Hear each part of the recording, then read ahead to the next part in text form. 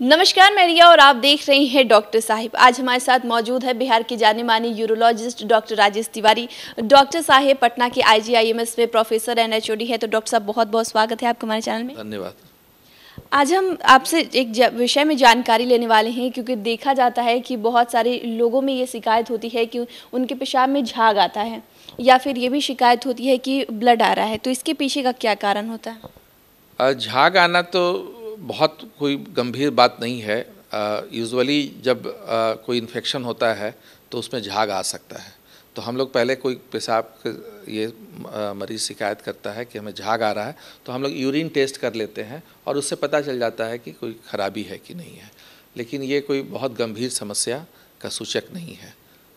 और पेशाब में ब्लड आना बिल्कुल ये बहुत ही गंभीर लक्षण है और पेशाब में ही नहीं, शरीर के किसी भी हिस्से से खून आए तो उसको गंभीरता से लेना चाहिए। कई बार ऐसा हम लोगों ने देखा है कि लोग खून आता है, कहीं दवा करा लेते हैं और कुछ दिन के लिए ठीक हो जाता है और फिर होता है और बाद में पता चलता है कि ये किसी प्राणघातक बीमारी से सफ़र कर रहे थे और समय रहते इन्होंने देर कर दी।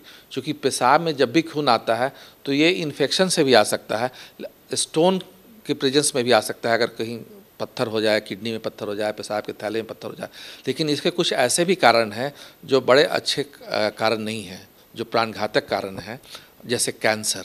तो पेशाब के नली में, पेशाब के थैले में या किडनी में कहीं भी कर कैंसर होगा तो उसका मुख्य लक्षण पेशाब में रक्त का आना है। और हम, जैसा कि हम जानते हैं कि कैंसर अगर अर्ली स्टेज में पकड़ा जाए तो पूर्ण रूप से मरीज़ ठीक हो सकता है लेकिन अगर एडवांस स्टेज में पकड़ा जाए तो इलाज में खर्चा भी ज़्यादा होता है और वो पूर्ण रूप से कभी ठीक नहीं हो सकता है।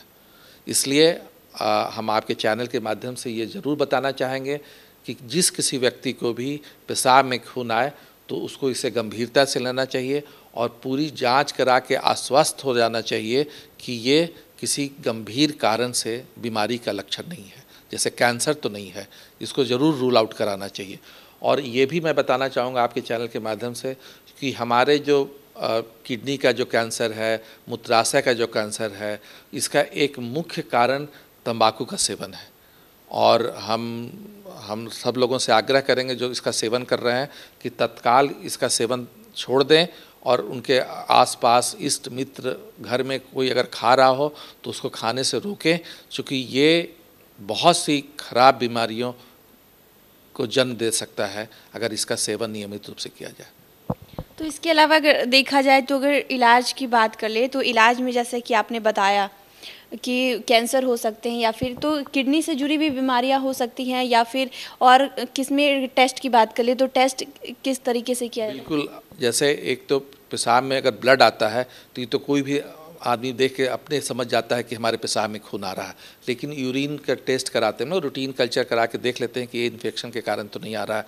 लेकिन इसके बाद फिर और भी टेस्ट कराना चाहिए, जैसे अल्ट्रासाउंड आजकल तो बहुत ही कॉमन टेस्ट हो गया है और सब जगह उपलब्ध भी है। सरकारों सरकारी अस्पतालों में भी उपलब्ध है तो अल्ट्रासाउंड करा के एक स्क्रीनिंग टेस्ट ज़रूर हो जाता है कि इनको कैंसर है कि नहीं। और अगर लगता है कि कैंसर है तो फिर और भी एडवांस टेस्ट जैसे सी टी स्कैन एमआरआई करा के हम लोग कंफर्म करते हैं कि ये कैंसर से और कैंसर के किस स्टेज से पीड़ित है कोई व्यक्ति। तो इसके साथ इलाज के साथ किसी तरह का बचाव भी करने की ज़रूरत है? बस जैसा कि मैंने बताया कि ऐसे व्यक्ति को पानी ज़्यादा का सेवन पर्याप्त मात्रा में करना चाहिए। खान पान में तंबाकू का सेवन नहीं करना चाहिए, चाय और अल्कोहल का सेवन नहीं करना चाहिए, ताज़ी हरी सब्ज़ी, फल का सेवन ज़्यादा करना चाहिए नॉन वेजिटेरियन डाइट बहुत कम ही करना चाहिए, ज़्यादा इसका उपयोग नहीं करना चाहिए और एक्सरसाइज करना चाहिए। ये सब अगर करेंगे, योगा करेंगे एक्सरसाइज करेंगे, ताज़ा भोजन और हरी सब्ज़ी का सेवन ज़्यादा करेंगे तंबाकू का सेवन नहीं करेंगे अल्कोहल का सेवन नहीं करेंगे तो आप स्वस्थ रहेंगे और आप इन रोगों से मुक्त रहेंगे। तो शुक्रिया डॉक्टर साहब जो आपने जानकारी दी है उसके लिए बहुत बहुत शुक्रिया। धन्यवाद।